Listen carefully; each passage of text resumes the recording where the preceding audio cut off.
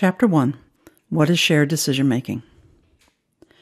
Shared decision making is a collaborative process that allows individuals and their care teams to make treatment decisions together, taking into account the best scientific evidence as well as individual values and preferences. Hi, my name is Pat Deegan, and I first learned about shared decision making at the Dartmouth Hitchcock Medical Center in New Hampshire. Here's how it works. Imagine you or a loved one were newly diagnosed with breast cancer.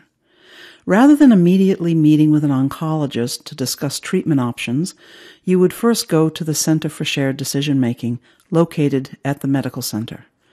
There you would find a library of carefully crafted decision aids and a nurse to introduce you to them. Decision aids are interactive tools that would help you understand your condition and your treatment options, including the option of watchful waiting, as well as the benefits and risks of each option. Importantly, the decision aid would also help you think about your preferences and values and to focus on how various options might affect the quality of your life. Using a decision aid, you would learn that mortality rates for women with early stage breast cancer are relatively the same whether they choose lumpectomy, which is removing just the cancerous tissue, or mastectomy, which involves removing the entire breast. Now, even though the impact of both treatments on the cancer is about the same, these two options are very different in terms of quality of life. If asked, some women will feel strongly about breast preservation, others will not. That means neither treatment is the right treatment for every woman. The decision to have lumpectomy or to have a breast removed is what is called a preference sensitive decision. Preference sensitive decisions require, from an ethical perspective, that a woman's preference be taken into account. Decision aids help prepare a woman to participate in shared decision making with her oncologist. She can make notes, write down her questions, and indicate her decisional leaning or how sure she is feeling about which path to take. Finally, when she's ready, she can meet with the oncologist and together they can make the best decision about how to proceed.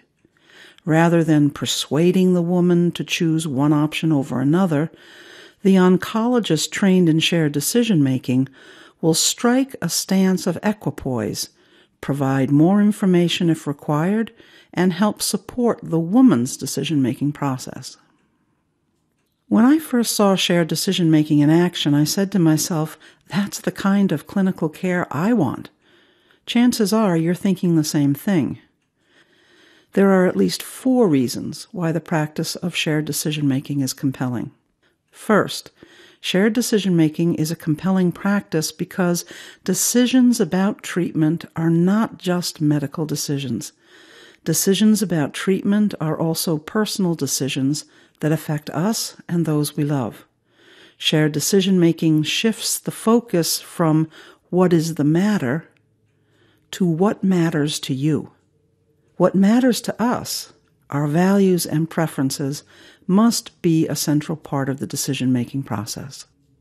Secondly, shared decision making is compelling because for many medical conditions, scientific evidence is not definitive, it is incomplete, or it is open to more than one interpretation. In such situations, there is an ethical imperative to include people in the decision making process.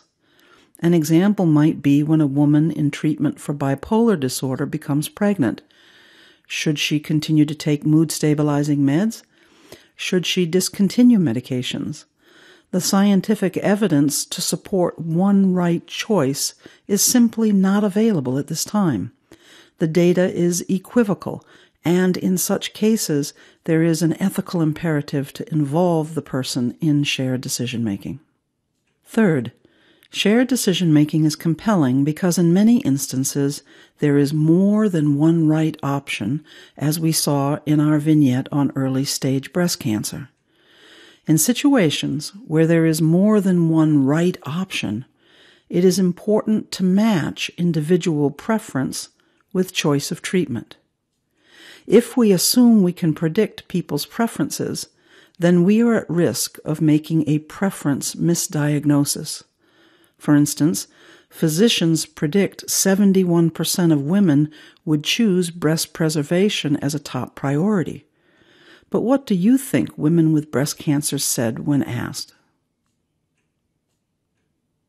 Well, only 7% agreed that breast preservation was a top priority. In truth, preference misdiagnosis happens all too frequently. Shared decision making prevents preference misdiagnosis and helps us get the right treatment for the right person. And finally, a fourth compelling reason to adopt shared decision making is that it is perfected informed consent. In everyday practice, there is significant drift away from obtaining informed consent.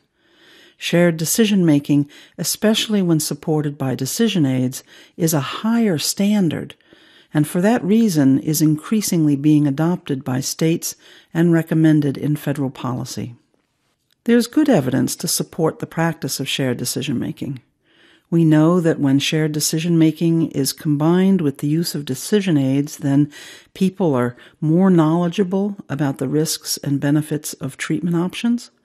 They have less decision regret and are more satisfied with their choices, and people are more activated and engaged in their care. Research also shows that shared decision making holds the potential of helping to reduce health disparities, especially for folks with low health literacy. And finally, people who are involved in shared decision making tend to be more conservative in their choice of treatments, resulting in lower healthcare costs. Now, not every clinical situation requires shared decision making. For instance, shared decision making is not a great idea if a person arrives in the emergency department with an acute, life threatening condition. Similarly, when a person is severely compromised through acute intoxication or delirium, shared decision making is not the best course. And if there is a clear gold standard of treatment in which the scientific evidence unequivocally supports one best option, Informed medical decision making, but not necessarily shared decision making, is recommended. An example might be the use of insulin in type 1 diabetes. In closing, let me say that shared decision making is used for social decisions and not just medical decisions. For instance, there are decision aids for end of life care, choice of assisted living, and when to stop driving. This is Pat Deegan. Thanks for listening.